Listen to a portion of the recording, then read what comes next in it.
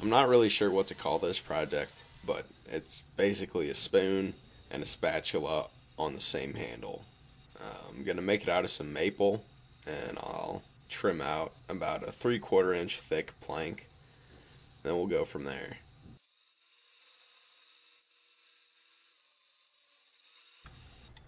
It was pretty rough right out of the table saw, so I took a hand plane to it to smooth out just one side. Figured the other side I'd round out and smooth out with sandpaper.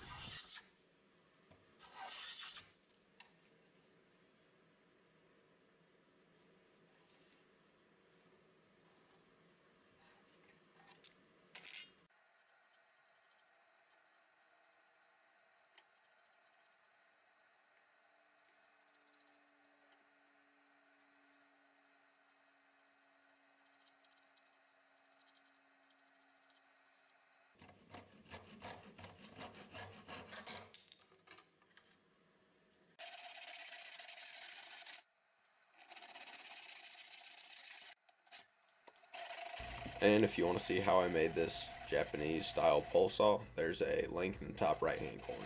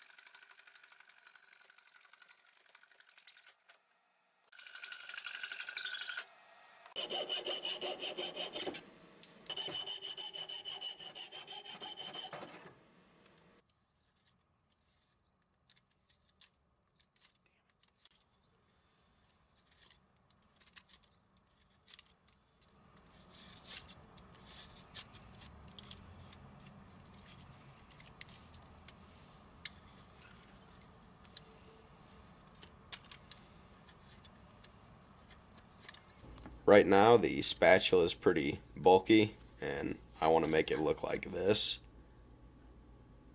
So the easiest way to do that I've found has been to just clamp a plane upside down and run the spatula across it like that. Uh, you just have to be careful that you don't plane off your fingertips or your palm.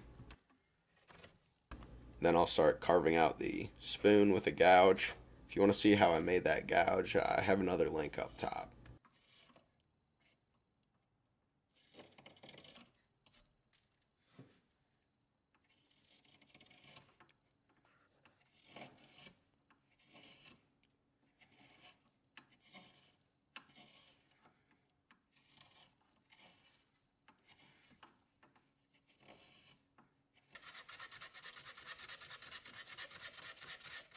Then I sanded everything up to 220 grit.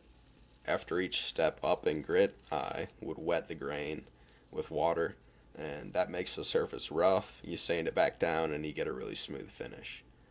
Uh, for the final step, I tried to fire harden the tips of the spatula and the spoon. I just hit it with a blowtorch until it turned black. Uh, not really sure if I did this right or if it helped at all.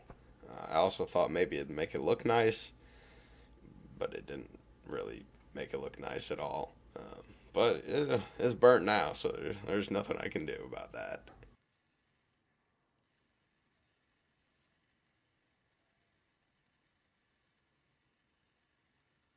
To finish everything off, we're going to hit it with some mineral oil and call it good.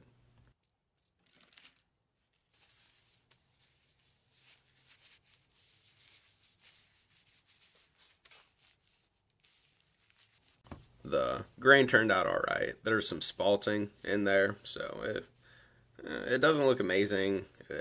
It's also not plain. It's got some character to it. I like how it turned out.